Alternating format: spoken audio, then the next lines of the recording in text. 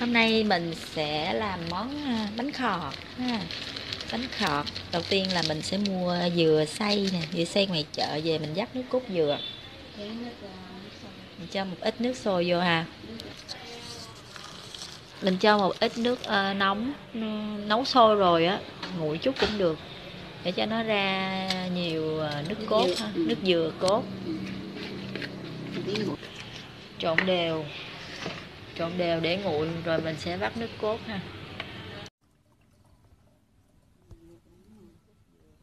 Nước cốt dừa này chiều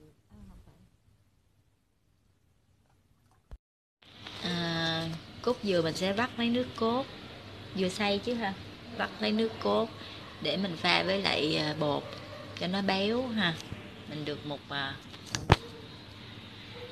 một chén nước cốt to rất là ngon chảo nước sôi cho một ít muối vô ha.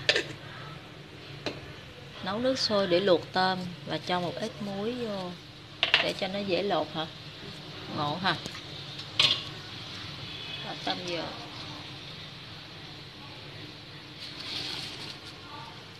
Luộc tôm.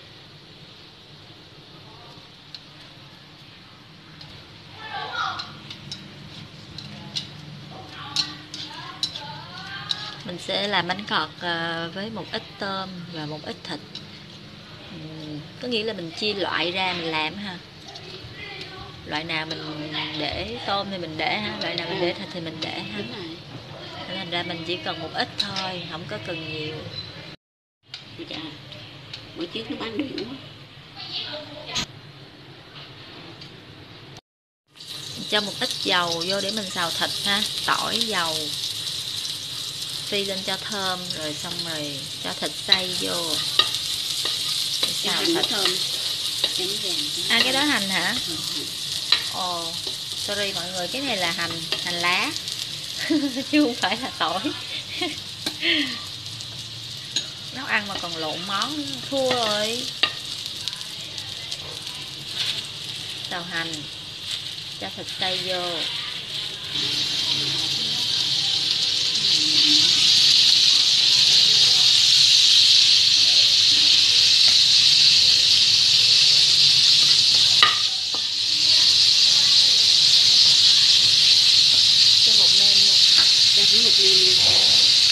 cho một ít bột nêm vô ha.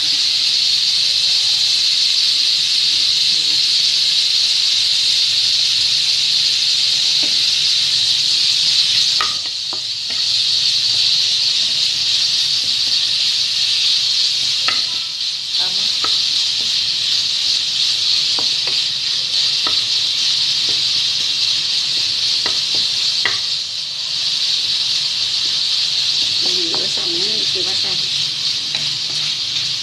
chị đó đi bán thịt đắt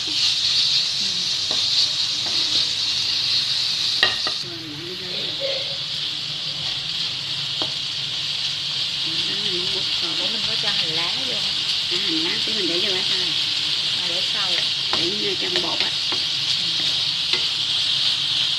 Mình xào thịt chín thôi. Tiêu ha cho thơm. Cho ít tiêu vô ha. Thơm bát ngát luôn khọt ở trong siêu thị về mình à, pha ha pha bột. Đổ bột về cái à, cái thao mình làm nữa hả? Nữa hay hết. À, hết thịt bột luôn ha. À, mình sẽ cho nước cốt dừa vô bột mình pha thay vì mình đổ nước thường vô. Nước cốt dừa hồi sáng mình là lấy sẵn nước cốt dừa.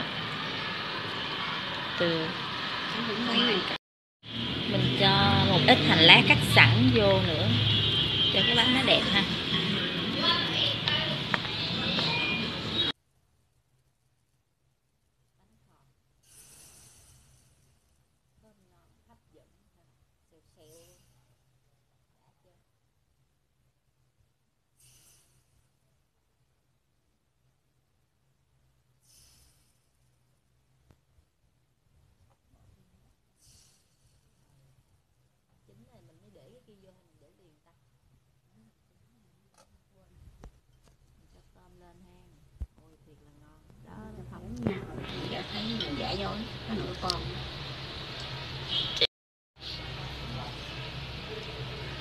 đẹp ha.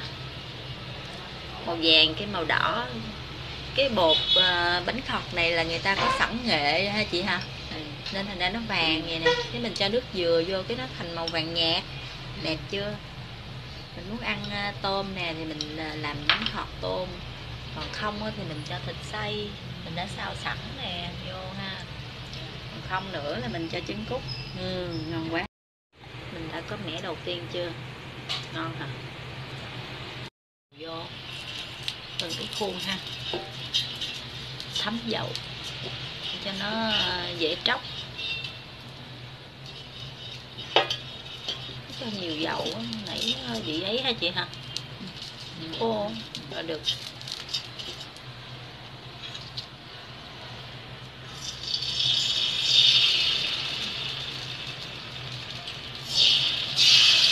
mình cho thịt thôi chưa?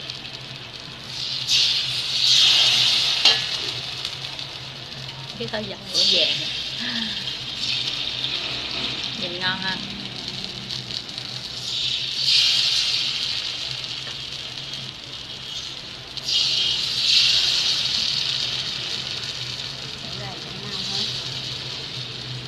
Cho cho thịt vô trước không ta? Hay là gần chín mới cho?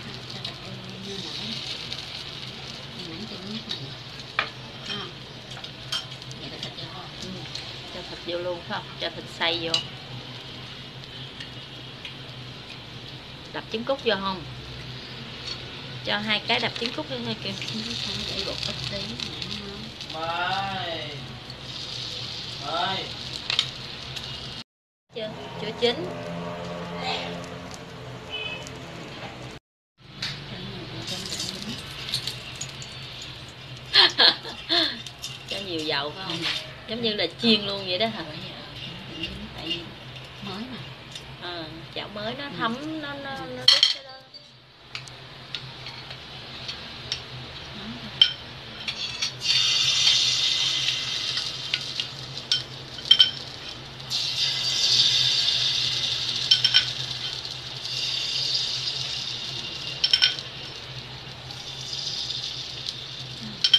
xèo rồi. giờ mới xèo nè xèo chính giữa nó bìa nó nó không được xèo phải không nó nóng á. giận quả này bung lên hết rồi nè chú ơi. Ngon đó tập lại cho nó cái mặt cho nó chín trước thôi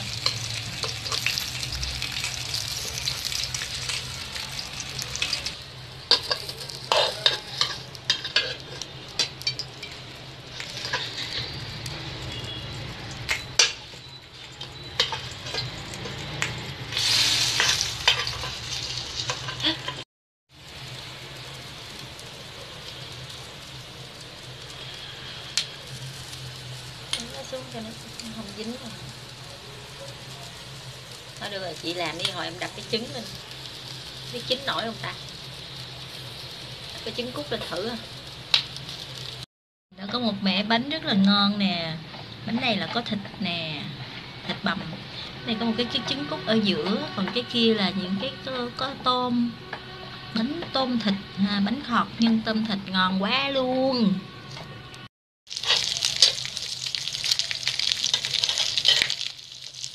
Ờ, ngon rồi đó đã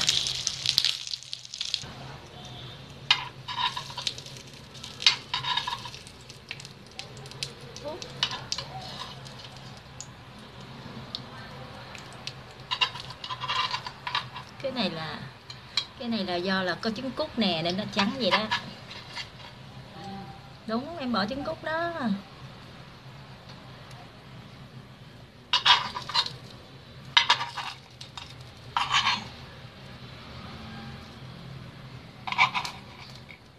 ngon quá mọi người ơi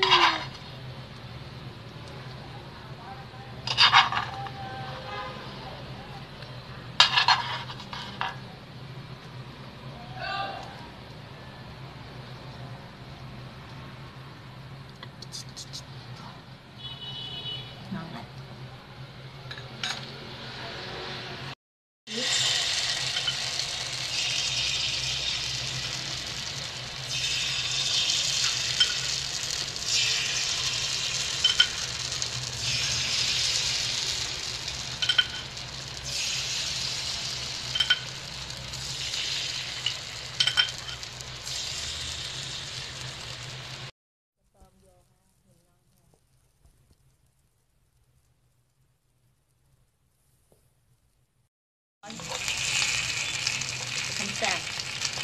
có một sự phép hơi nhẹ.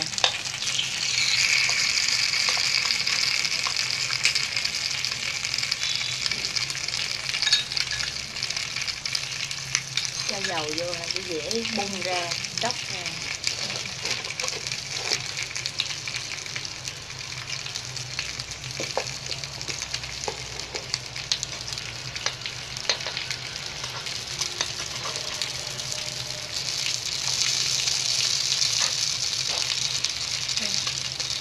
Một nó vẫn chưa chín lắm nè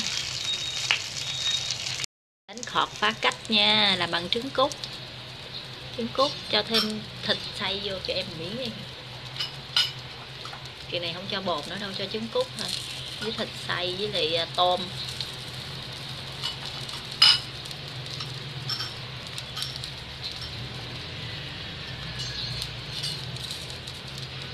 Rồi thành này là bánh à, bánh trứng thịt tôm thịt.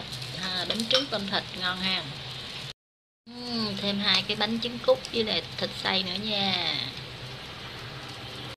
Cuối cùng thì mình cũng có một dĩa bánh khọt ngon, gồm có bánh khọt tôm thịt, tôm nè, thịt nè, rồi à, bánh trứng nè, rồi bánh hành nè, đủ loại theo mình muốn ha.